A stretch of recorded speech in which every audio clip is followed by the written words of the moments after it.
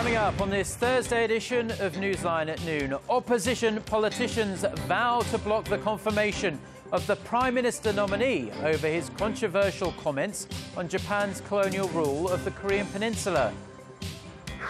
Korea's export prices dipped to their lowest level in six and a half years on the back of the strong local currency. Plus, Al Qaeda linked militants in Iraq are edging closer to Baghdad as they extend their control over key cities in the country's north and west. These stories and more on Newsline at noon.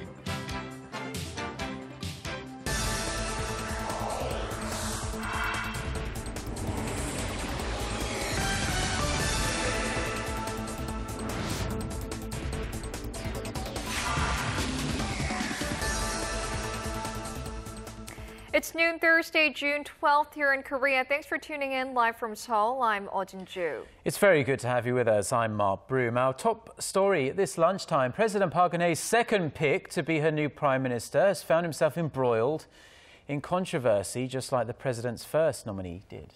Some controversial comments made by Moon Chang-keuk a couple of years ago have surfaced and are casting doubts about its confirmation at Parliament. Chu Sun reports. During a lecture at his church three years ago, Prime Minister nominee Moon Chang-keuk said Japan's forced colonization of the Korean peninsula in the early 20th century was part of God's will to awaken the Korean people. He added that God also divided the two Koreas, saying that if the Korean peninsula had been an independent state at the time, the South would have settled on communism. At a lecture the following year, the nominee put his ultra-right views on display again, saying Korea was able to enjoy economic development by adopting technologies from Japan during the colonial era and that it was a geopolitical blessing from God. Moon also denied that Korea's liberation from Japan was because of the people's independence movement, saying instead that liberation was granted to Koreans by the will of God. In response, ruling Party floor leader Lee Wan-koo said he believed the comments were not ill-intended and that the nominee was trying to say that Korea as a nation should learn from past mistakes and move forward. The opposition New Politics Alliance for Democracy had a decidedly different reaction. They called the nominee's comments anti-national and outrageous and said President Park should immediately withdraw his nomination and apologize to the public for another failed personnel appointment.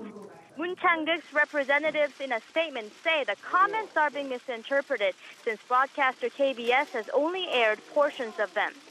The presidential office, which is expected to announce a cabinet reshuffle and replacement of presidential secretaries this week, seems to be closely observing public response to the latest developments. Choi You-sun, Arirang News. Police and prosecutors have entered their second day raiding a religious compound belonging to Yu Byung-un, the fugitive owner of the sunken Sewol ferry. The search resumed Thursday morning and nearly 4,000 police officers with court-issued warrants were dispatched to the Salvation Sect's main compound in Gyeonggi-do province south of Seoul. Authorities are scouring the grounds for Yu and about a dozen members of the sect who are suspected of helping him escape the massive manhunt. Police and prosecutors are also looking for possible underground hideouts within the compound. A day after the floor leader of the ruling party gave a keynote speech to the National Assembly, it was the main opposition party's turn on this Thursday. Most of the focus was on the Sewol ferry disaster and on ways to make sure a similar tragedy never happens again. Our Kim Young-gil has more. Addressing a full National Assembly on Thursday, Park Young-sun, floor leader of the main opposition New Politics Alliance for Democracy, called once again for a thorough investigation into April's ferry disaster. An investigation without boundaries is the order from the people. The very first task for the National Assembly in the second half of the year is to conduct a thorough probe into the Sewol ferry tragedy. Park made a case for comprehensive reforms in the government and parliament, saying failures in the government system were one of the causes of the accident. She also sounded the alarm about the nation's aging nuclear power plants. A nuclear power plant disaster is like an atomic bomb. The nuclear industry has been tarnished with corruption scandals.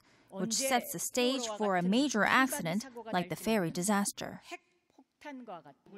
The main opposition floor leader called for anti corruption bills targeting high ranking government officials to be swiftly passed at the National Assembly. She said that Korea's bureaucrats have long enjoyed landing jobs after retirement at companies and public institutions, which has contributed to the lax management of safety regulations.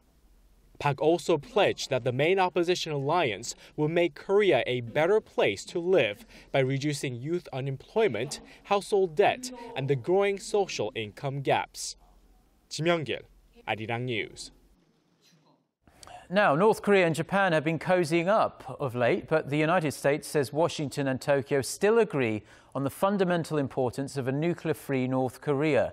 US State Department spokesperson Jen Psaki said Wednesday the chief nuclear envoys from the two nations held very productive discussions this week in Washington on a wide range of issues related to North Korea.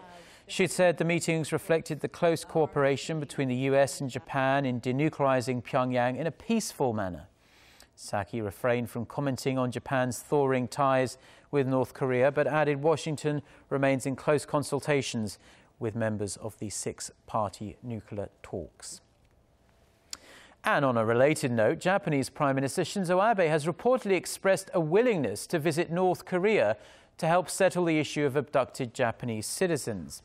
Japan's Kyodo News Agency reported Wednesday that Furuya Keiji, the Minister of State for the abduction issue, said Abe has said he could hold talks with North Korean leader Kim Jong un in Pyongyang on this very issue.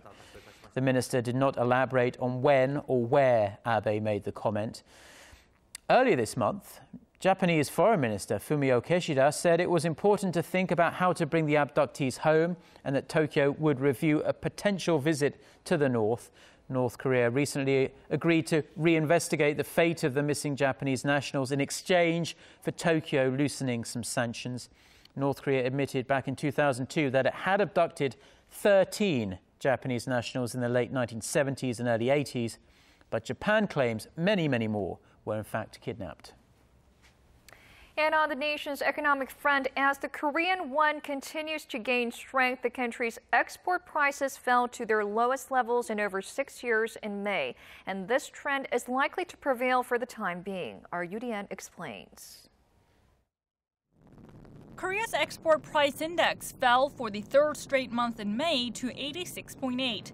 That's the lowest level since December 2007.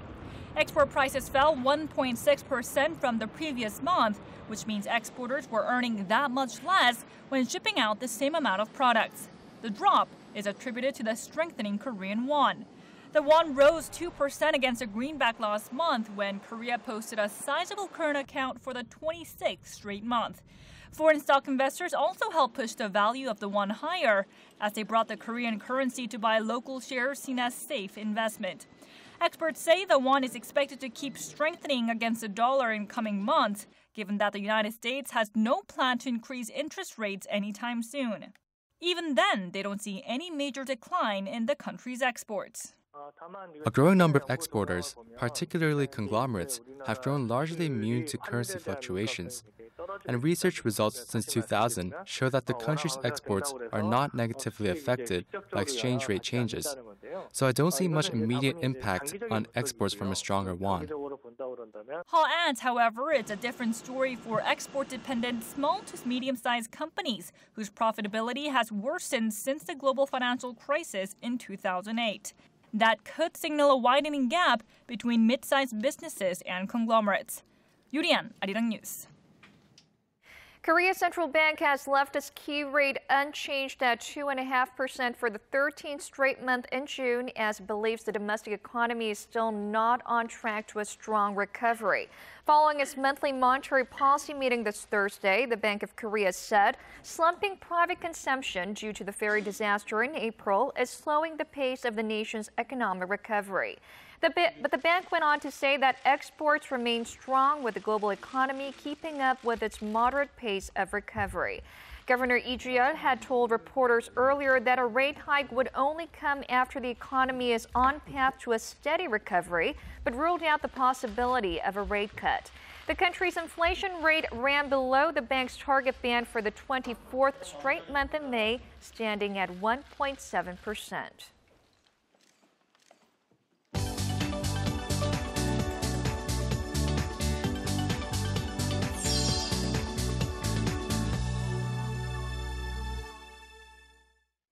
Time now for a look through the international headlines we're following at this hour. For that, we turn to our Eunice Kim standing by at the news center. Eunice, for the second time in two days, Islamist militants have seized control of another Iraqi city.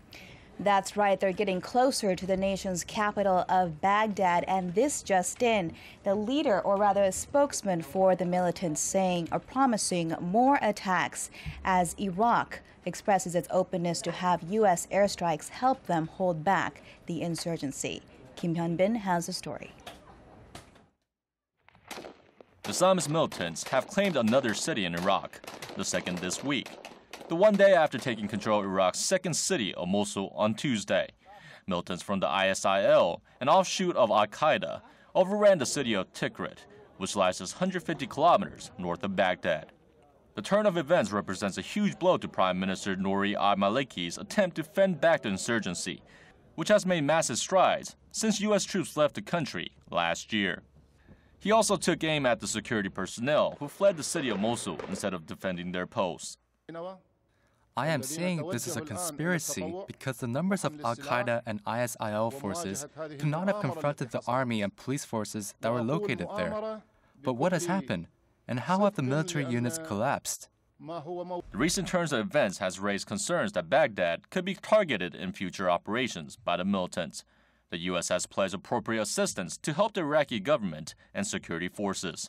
Uh, we are working uh, with Iraqi leaders from across the country to support a coordinated response. Uh, you can expect that we will provide additional assistance to the Iraqi government uh, to combat the threat from. During his trip to Greece on Tuesday, Iraqi Foreign Minister Hoshyar Zebari said his fellow leaders must unite to face a mortal threat. Zebari added that Baghdad will work with forces from Kurdistan to drive the fighters out of Mosul. Kim Bin, Arirang News. Turning now to another area of escalating conflict, intelligence sources and eyewitnesses in Pakistan say a U.S. drone has struck an area of northwest Pakistan. Not much detail was immediately available, such as its intended target and the presence of casualties, but the region near the border with Afghanistan is known to be a refuge for Islamist militants and foreign fighters.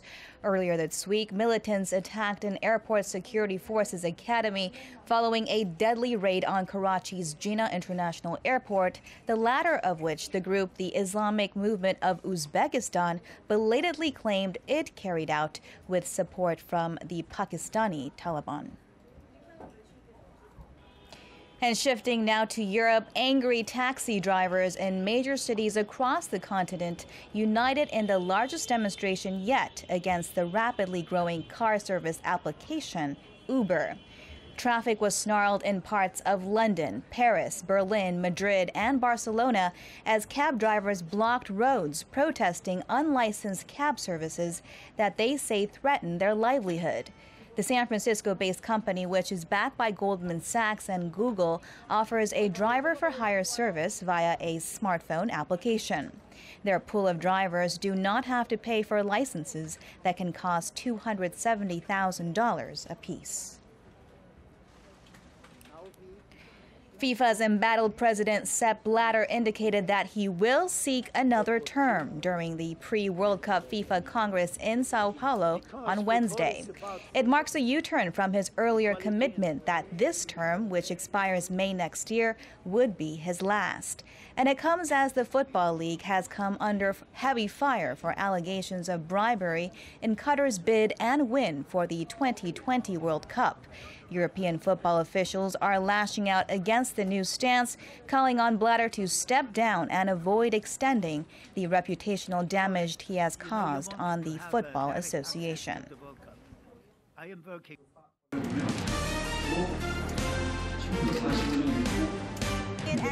Stay up to date on the latest news out of Korea. Connecting to our team of reporters about the issues that matter to Korea. On air, on your mobile, online, Find out more about Korea on Newsline at noon with Mark Broom and Oh Jin-ju. I'm Oh Jin-ju. Market researcher, strategy analytics, said Thursday that LG Electronics. Korea is pretty much paradise for smokers with its super cheap cigarette prices and lack of serious anti-smoking policies, but this might not be the case if the nation's health ministry gets its way. With hopes to cut the high smoking rate in Korea, the government is mulling over ways to make a pack of cigarette a whole lot more expensive and much less attractive. Our Connie Kim has the story. The Korean government is preparing new anti smoking legislation to bring down the nation's high smoking rate. A European Union study last year found Korea's smoking rate at second highest among OECD members, barely trailing Greece. The health ministry said Thursday that it'll submit a revised bill to the National Assembly requiring tobacco companies put graphic health warnings on packs of cigarettes. Currently, written health warnings are only printed on the side of packs. Just a day earlier, the ministry said it'll push to raise taxes on cigarettes, taking in the World Health Organization's recommendations that urge members to raise cigarette taxes to 50%. The price of a pack of cigarettes in Korea has remained the same for 10 years or so at about two and a half US dollars, the lowest in the OECD. The ministry also plans to roll out new anti smoking ad campaigns by the end of the month. The government has made a number of moves to reduce the number of smokers in the past, but they haven't been successful. Just two years ago, a bill that would have required graphic visual warnings about the health effects of smoking was opposed by the Economy and Finance Ministry due to concerns about falling revenue. As a recent report by the Korea Institute for Health and Social Affairs shows, Korea has a way to go in strengthening its anti smoking policies. Out of 27 countries surveyed, Korea ranked 25th in terms of actively pursuing non smoking policies. However, the health ministry is pushing hard to ensure graphic health warnings will be carried on cigarette packs before the year is out. More than 50 countries already have or are in the process of requiring picture warnings be printed on cigarette packs. Connie Kim, Arirang News. A scheduled one-day strike of more than 3,000 gas stations in Korea that was set for today has been put on hold for the time being at least. The Korea Oil Station Association said that while it has failed to reach an agreement with the government over a new rule that requires gas stations to file weekly reports on their purchase and sale of petroleum products, it will push the strike back by about 10 days to hold further negotiations. The government says weekly filing will help root out illegal practices. The association wants its members, which make up one quarter of all gas stations in Korea, to be given a two year grace period prior to the implementation. The government has said it would allow a six month probation period before imposing fines for non compliance.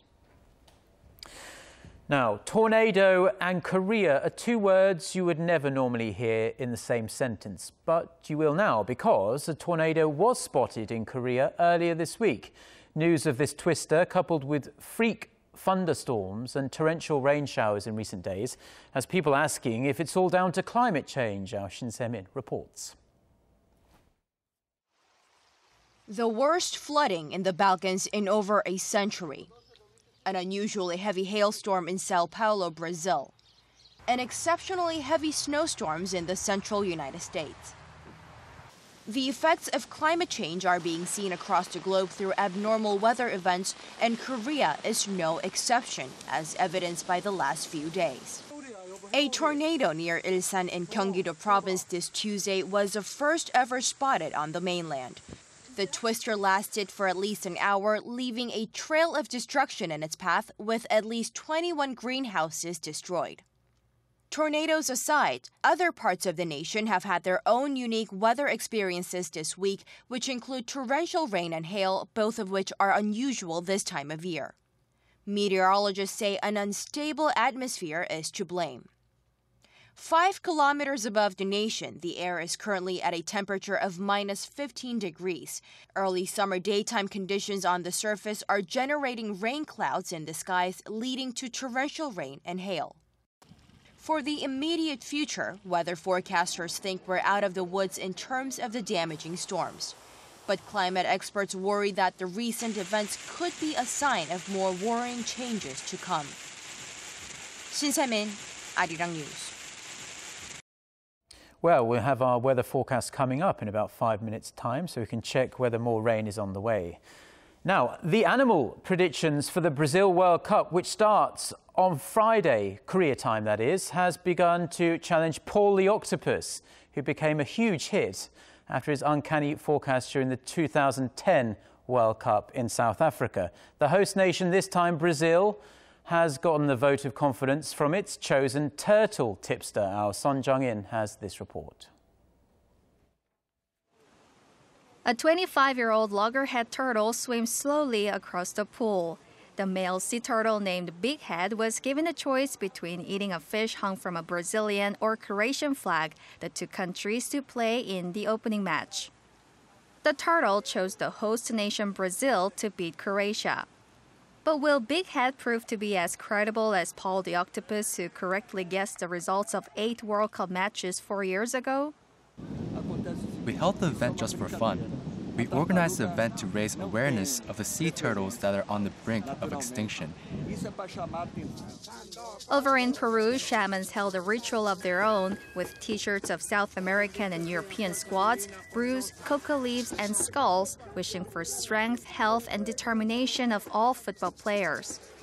They reached out to ancient Inca gods for answers using pictures of famous soccer players like Brazil's Neymar and Argentina's Lionel Messi. Brazil will be the one to raise the cup, but they will have difficulties along the way as they will face tough opponents.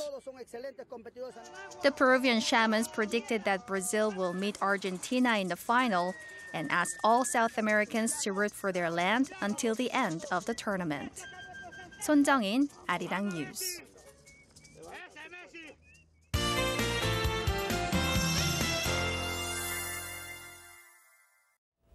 Good afternoon. I'm Lee Ji-hyun with your weather updates. As uh, Shin Se-min reported a few minutes ago, the weather has been really weird lately here in Korea. Sprinkles, then rain, then downpours along with thunder and lightning. And it seems like a similar weather pattern is on tap for today. Uh, mostly to partly sunny skies will gradually give way to thunder and lightning in the afternoon. So it could be another gloomy day across nation. And with that band of rain, temperatures will continue to stay in the seasonal average range, hovering in the mid-20s in most areas, and it should be a tad cooler than yesterday. And it looks like readings will remain in the seasonal norms, but the chance of rain and thunderstorms continues throughout the week. With that in mind, let's take a closer look at the readings for today. The afternoon high in Seoul will rise to 27, while Daegu and Gwangju will rise to 25 and 26 respectively, and Busan will hike up to 21 under partly cloudy skies. Now let's see how other regions are looking. It looks like down on Jeju should see a high of 23. Daejeon and Dokdo will rise to 26 and 19, while Mount Kumgang tops out at 14. Well, that's all for me today. Hope you have a wonderful rest of the day, and I will be back with more updates tomorrow morning.